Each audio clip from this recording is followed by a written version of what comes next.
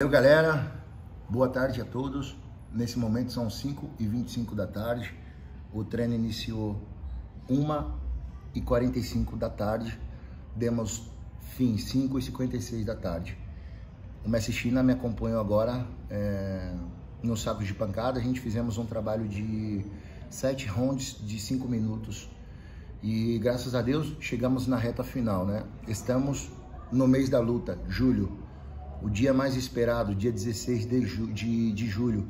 Então eu quero agradecer a todos que vêm é, mandando energias boas, curtindo as nossas publicações. A gente tem o prazer de estar tá compartilhando nossos vídeos de treino, nossas preparações. O Messi Alex é o cara que sempre foi e vai ser a minha inspiração dentro da luta, dentro do mundo da capoeira, né?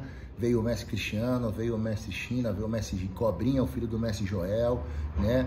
Tem essa galera toda nos acompanhando, tem o Feijão também. Tem o meu pai, o Messi Jangada, que me ajuda também na preparação da luta. É incrível essa galera que está sempre somando comigo. É... E eu queria, com certeza, estar tá agradecendo a todos pelo carinho, pelo apoio que vocês estão dando pra gente, né? E hoje, galera, eu tive é, uma pergunta assim, Tito, por que você, em véspera de luta, você publica teus treinos e, e não prefere treinar sem publicar? E eu respondi assim, olha, todos os guerreiros têm que ser guerreiro quando nasce, tem que ser guerreiro até o fim. Eu publico meus vídeos sabendo que eu vou lutar, sabendo que meu adversário está me estudando, está acompanhando meus treinos todos. E mesmo assim eu tô feliz, sabe por quê? Porque eu sou um guerreiro.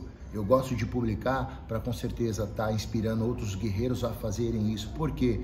Isso se chama confiança em si próprio, confiança no seu trabalho, ok? Quando a gente se priva de publicar os teus treinos é porque a gente não tem confiança em nós mesmos. Então, o guerreiro de verdade, ele treina, publica sabendo que vai lutar, sabendo que seu adversário está de olho no teu jogo. É aquilo, galera. Quando a gente vai entrar dentro de uma jaula de MMA, a gente com certeza faz sempre a nossa estratégia fora, ok? A gente entra com outra estratégia. E é grande importância sempre lembrar que eu, eu, eu, levo sempre a minha arte, a capoeira. Eu comecei a capoeira com dois anos de idade, junto com meus irmãos, meu pai, mestre Jangada, e grandes mestres que já acompanharam a nossa trajetória, né? Tá muito feliz com esse desenvolvimento hoje da nossa academia, do projeto que o meu irmão vem fazendo. É, da minha volta para a luta, cara, isso não tem dinheiro que pague, tá? Então quero passar aqui só para agradecer a vocês. Acompanha a saída nossa de São Paulo até Goiânia. Eu vou filmar tudo. Tamo junto, axé capoeira, fique com Deus.